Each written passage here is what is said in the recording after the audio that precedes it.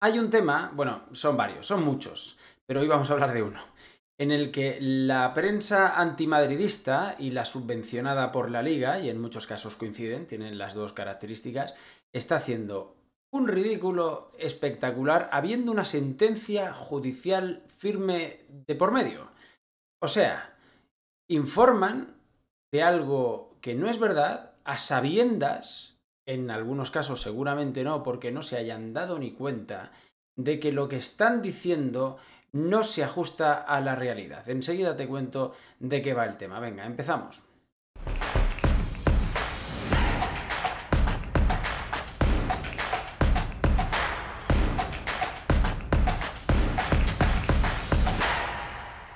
Bienvenidos madridistas, ¿qué tal? ¿Cómo estáis? Me acerca un poquito el micro porque he notado que en los dos últimos vídeos aquí cada día pasan cosas ¿eh? con la tecnología. Ya cuando de repente resulta que él se escuchaba bien y tal, han vuelto a, venir los problemas esos de, de, que a veces estoy hablando y hay tramos de frases que no se escuchan por la sensibilidad de esta cosa de aquí. es, que es un gran micro, por cierto, porque no sé, a veces le da por hacerlo durante un tiempo y otras veces no, por lo que sea. He decidido acercarme un poquito más, pero tampoco voy a estar aquí con la cara aquí en mitad, cerca del objetivo. Todo tiene que tener un, equilibrio, ¿no? De, distancia, de micro Bueno, en fin, ¿para qué os voy a contar más? Que lo estoy intentando solucionar. y que si vuelve a ocurrir me vais a pedir perdón, no lo sé. Luego lo que haré será apagar el ordenador, resetear las cosas y a ver si. A ver si se soluciona. En fin, bueno, vamos a ver si me hago entender. Eh, vídeo monotemático sobre un tema que de verdad me, explota la cabeza y que un día en la, en la, playa, por cierto, en dos días me voy otra vez ahí, ya serán las últimas vacaciones. ¿eh? Bueno, vacaciones, ya sabéis que en mi caso son semi-vacaciones, pero que seguiré haciendo vídeos naturalmente con el mismo ritmo de, siempre y con los partidos y todo esto. Los directos de los postpartidos los haré cuando ya vuelva a estar aquí y empiece ya la temporada, el curso y todo sea, todo sea normal. Pero eh, em, la, última vez que estuve en la playa, recordaréis un vídeo en el que em, contaba eh, cómo eh, Marca publicaba aquello de que la liga estaba haciendo todos los esfuerzos por llevar al espectador lo mejor y lo más sorprendente de los partidos de fútbol y tal, pero que había habido un club que había votado en contra y no sé qué, ¿no? Bueno, pues el siguiente, claro, con la vergüenza que se supone, porque esto era el diario Marca, pero es que también lo hace con el diario As y, con otros muchos más. O sea, como meten ahí mucha pasta de, publicidad institucional de la liga y tal, pues luego tienen que hacer informaciones que tú puedes pensar que es una información independiente y no.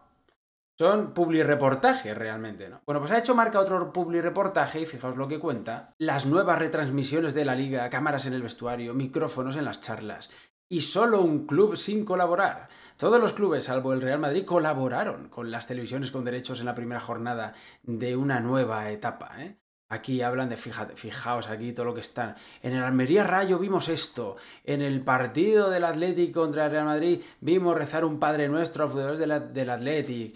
Eh, no sé, bueno, en fin, la intensidad de Mendilibar hablando a los suyos en el cooling break, o sea, todo, todo, maravilloso. Lo firma el mismo tipo que yo creo que, la noticia aquella anterior, el tal Manuel Malagón.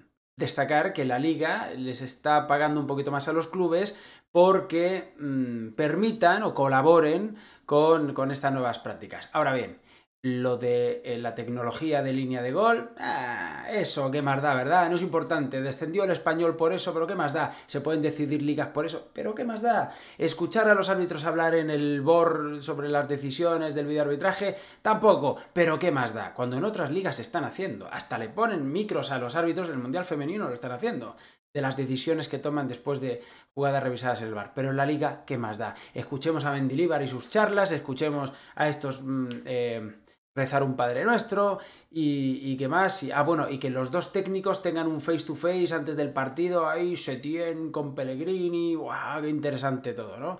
El Madrid dice que, oye, mira, Guerrita va a hacer eso, principalmente por una cosa que enseguida te cuento, pero antes te voy a mostrar. Que es que, bueno, antes de mostrarte lo siguiente del mundo deportivo, es que esto es una vergüenza lo que ha hecho, lo, lo que hace Marca. Y todos esos, todos esos halagos a la liga y tal, todo eso tiene una razón y es el dinero que paga, a lo mejor eh, esto al micro no le ha venido muy bien, pero bueno, eh, es la teatralización de, siempre en cada vídeo.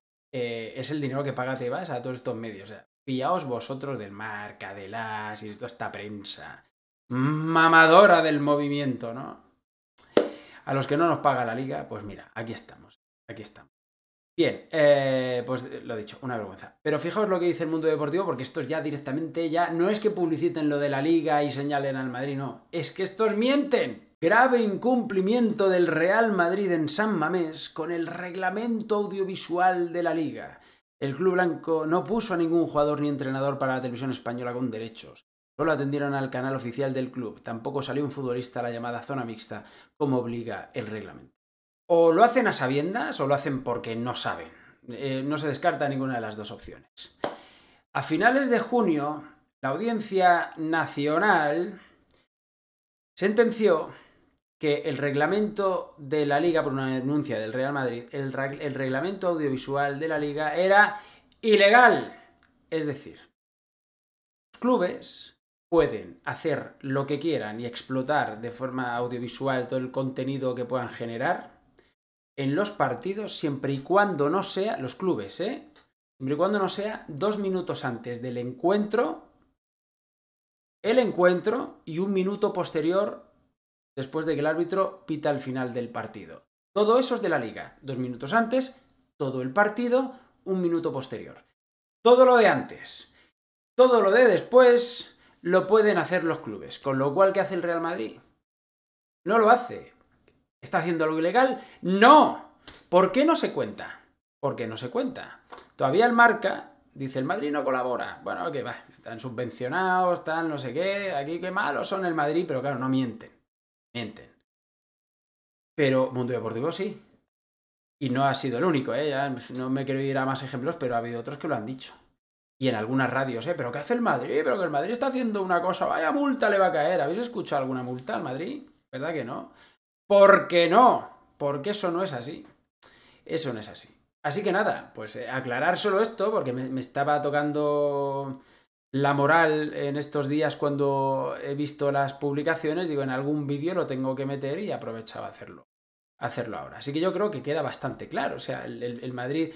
Aparte, que es que de verdad, o sea, el Barça también lo podría hacer, pero el Barça lo que hace es supeditar todo esto, o sea, llevarse bien con la liga. Seguramente tú le preguntas a la porta y esté en la línea de Florentino.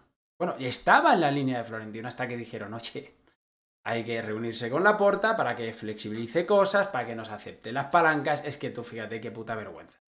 Es que es alucinante la vergüenza que supone.